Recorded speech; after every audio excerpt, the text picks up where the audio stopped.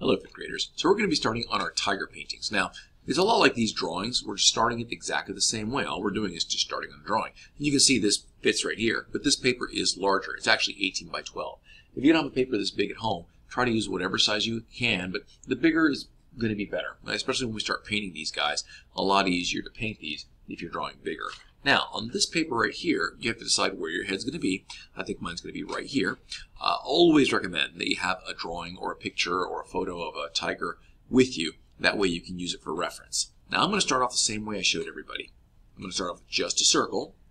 And then down here at the bottom, I'm going to make the muzzle. The muzzle sticks out, so it's pretty big. Remember, this is a big cat, not a small cat, so the muzzle's huge. It's not small. I don't want to see anybody drawing just a little bitty thing here. It should be a fairly good sized muzzle. Now, after I have this done right here, I'm going to start by making all of his little kitty cat facial features. Uh, right here, towards the top of the muzzle, I'm going to have a little triangle like all cats have, one line that comes down, and then the mouth opens up like this. Very, very much like a cat. However, this is not a little cat, it's a big old tiger. So you have to make the mouth much bigger. You also can make the chin nice and fuzzy. You can even open the mouth if you wanted to. To open it, all you have to do is just basically drop the mouth down a little bit. And if you do that, don't forget to move the chin down with it. Okay, I'll put some little teeth here, some little teeth here, some teeth here. And now you can see how I dropped the mouth a little bit.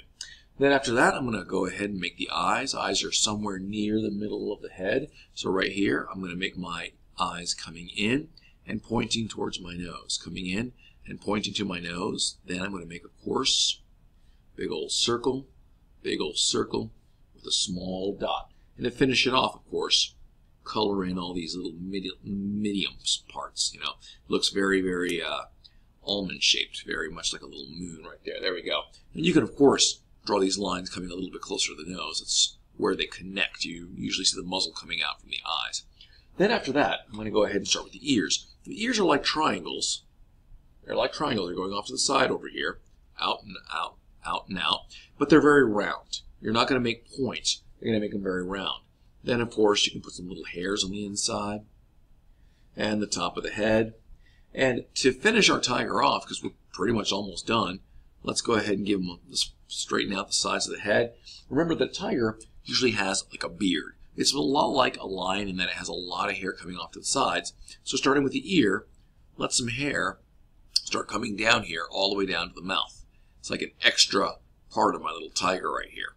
And there we go. So nice little beard looking thing over here. Now, once I get to this point, all I need now is the body. And remember that our tiger is super thick, very, very strong, the biggest of the big cats. So I'm going to make his body very thick. Don't start the neck down here. That's no good it has to be very large. So I'm going to start maybe here at the middle of the head, let that get bigger, and maybe just drop this down here. That's a fairly good sized body. If I really want to draw the side of the body, maybe I'll let it go off to the side over here. That's still a-okay. Now, the reason why it doesn't look very much like a tiger is because I haven't put any of my details in. You know that you're going to be drawing your little dots, your little stripes. We don't need to worry about that right now. If you really want to put it in, you can. But the most important thing is just to have this part ready. All right. Now, if you like this, take a look at your real tiger. Find out if you really like this or not.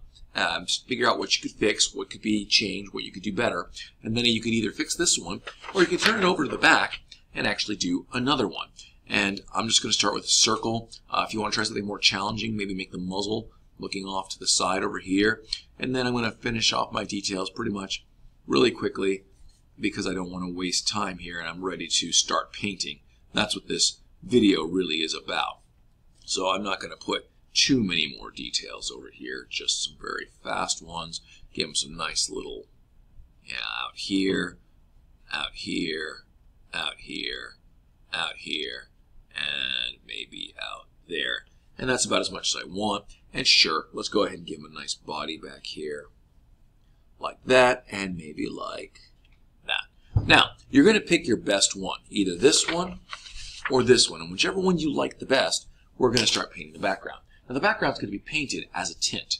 A tint means it's a light color. Now to make any color light, you're going to need white. And I've got tempera paints right here. Tempera paints are probably the best paints for mixing. So I'm going to use this, and if you're at home, you can use your brush to put this on. Since I have a bottle, I'm just going to pour it right on here. Not a whole lot, but I'm going to put some on here.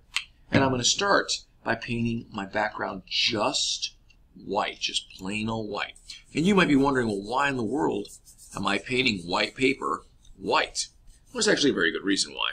This is the best way to spread the paint out. And that way I don't get any blue splotches or red splotches when I put my color on here. Now after I paint everything white, I'm going to pick a color. Uh, it doesn't have to be blue. I just happen to pick blue because it's very popular. But it can be any color. Now the more paint, more color you have, the darker it's going to be. The less paint you have, the lighter it's going to be. So I only put a few dots. I'm going to get a little bit of water and I'm going to start mixing it. And you'll see that blue changes quite a bit. That is nowhere near dark blue anymore. Now it's very, very light. And I'm just going to come over here, paint all this stuff, paint all this stuff, paint all this stuff, paint it, and done. Now, it's all mixed, but it's not very neat. This is not a very smooth texture, and we do want the background to be smooth. So how can you make these lines smooth? Well, you'll see that anytime I move my brush, I'm leaving little lines behind. Those are called my brush strokes. I want these brush strokes to almost be invisible. The easiest way to do that is to make them all going in the same direction and to make them straight. So I'm going to get a little bit of water, and I'm just going to move my brush to the side, just like this. And you can see the effect that that's having.